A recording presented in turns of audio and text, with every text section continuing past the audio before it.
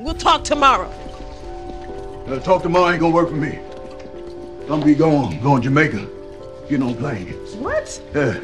Gonna pack my goddamn bags, go to the airport, get a ticket for goddamn Kingston. So prior to this scene, and the episodes before, I already knew that Jerome was going to die very soon, before the show ends, because of the fact that he wants to get out.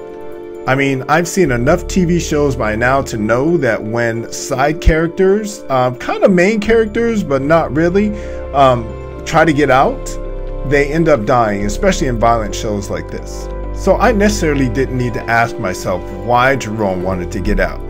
Um, I figured it out a long time ago, but he explained it to Louie and to the rest of us. Take a listen. I think you're looking for a fight, and I ain't biting. I ain't looking for no goddamn fight. I'm telling you, I'm goddamn done. I'm done selling crack. I'm done getting shot at. I'm done trying to kill my goddamn family. Okay, fine. So I always thought Jerome had a really good heart, and he makes a good point. Like he's done selling drugs, he's done getting shot out, and he really don't want to try to kill his family. But he loves Louie, which is a large part of the reason why he went through with this whole thing in the first place. And to Jerome, just like myself, like everything that Louie was doing up to this point, it didn't make any sense. It didn't make any sense at all. But Jerome explains even further why he wants to get out. Take a listen. What the fuck am I supposed to do with that? Maybe you're supposed to acknowledge this shit is fucking insanity. The money ain't worth this shit, Lou. No matter how fucking wrong this shit is, ain't nothing gonna make it right. And I agree with Jerome 110%.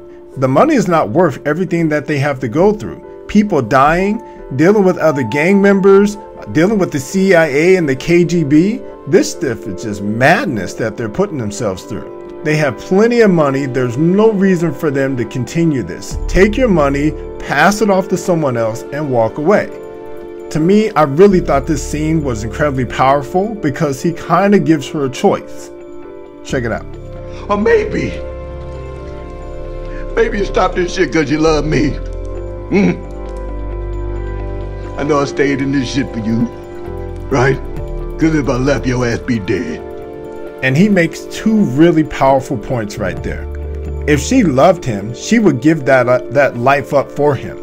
But she's not willing to do that. So that tells me right there how much she really loves him. And then the shoe on the other foot, we can tell how much he really loves her because he was willing to alienate his family and try to kill his family for her, for her mission, for her dream, which is crazy. And we found out later on in this episode, without Jerome being around, she ends up getting caught by Kane and she almost dies. But I'm goddamn done. I ain't my problem no more. I'm free of this shit. You don't need this. It's the realest thing I ever fucking said to you. And when he said, I'm free of all of it, I, I actually clapped during that part because I thought that was amazing. Get out, Jerome. And I hoped that he would, but it didn't end up that way. But the next morning, when Lou and Jerome have a conversation, she kind of lays it all out there why she did what she did. And she actually gave us some closure and Jerome as well. Check it out. Hmm. I've been asking myself why. Why I couldn't just be happy with where we were. Because we have money, right? Power, respect. And it's true. The same things that she asked herself, I consistently asked myself. Why did she feel like she needed to go over Franklin's head straight to Teddy and try to sell on her own? They were making a lot of money, they had a lot of power, um, they had a lot of respect. They didn't need to take that chance. It was unnecessary for her to do that. But she explains even further why she did what she did. And it makes sense now. Because I've been running this thing, right? And you see that. But our customers, all they see is you. Every deal we make, they talking to you. They look at me long enough to wink or lick their lips.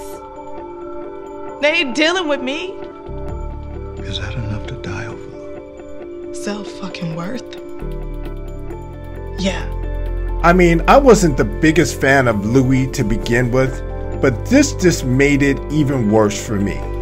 How selfish she became over the course of the series because she wasn't getting the recognition that she felt like she deserved.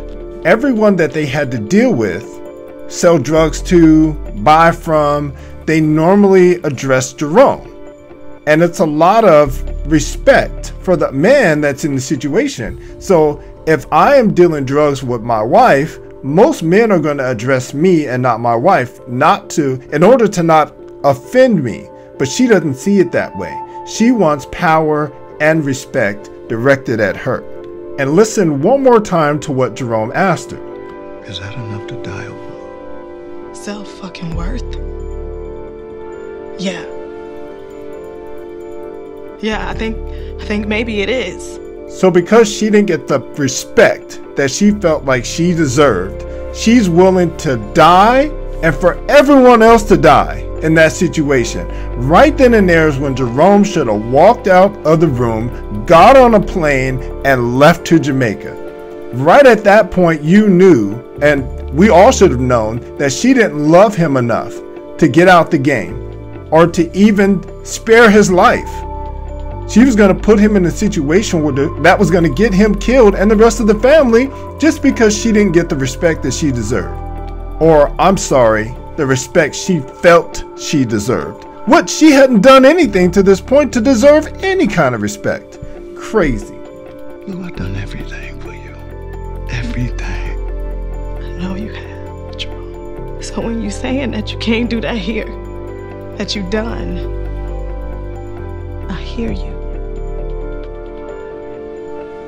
But I just need more time because I made promises. You mean like Teddy? So if we fast forward it a little bit, we can see that Louie has gone to ride her horse and she has now been captured by Kane's men. Kane calls Franklin and informs him that he has a surprise for him. So when Franklin shows up, imagine his shock when he sees Louie strapped to a chair. Well, he's probably not too shocked considering he's the one who informed Kane that Louie would be riding her horse. Franklin tries to do Louie what he thinks is a solid by telling her to just go ahead and tell Kane what he wants to know and pray for a quick death. And pray for a quick death.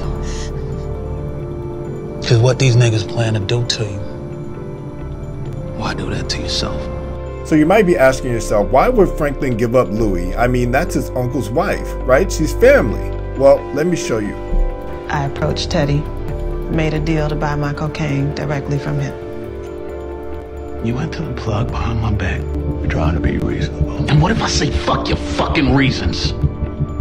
And Franklin also warned Louie several episodes ago, I think probably like a couple seasons ago, to not mess with his money. Check it out.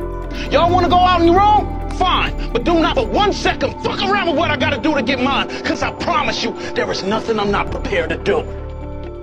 He sounded awfully serious right there. And look at the intensity in his face, look at his eyes. He's not playing around. And right about now, Louie is starting to realize how serious Franklin was. So after Franklin leaves Louie behind, he pulls over to the side because he's had a change of heart and he contacts his uncle Jerome. So in the final scene, Franklin and Jerome shoot their way into the warehouse where they go to save Louie, as you can see here. But as Jerome and Kane exchange gunfire, they both take hits to the chest. And I've read a bunch of comments online. Everyone is shook up at the fact that Jerome gets shot in the chest and dies on the floor.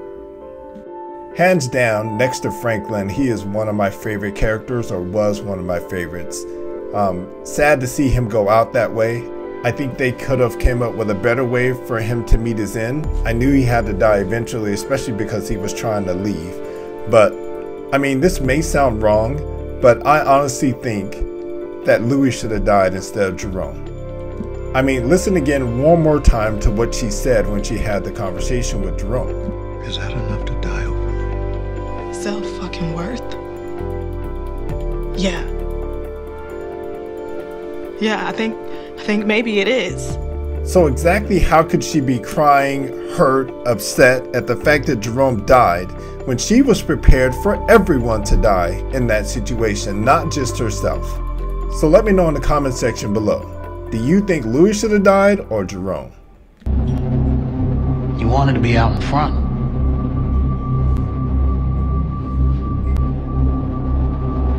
Now you are.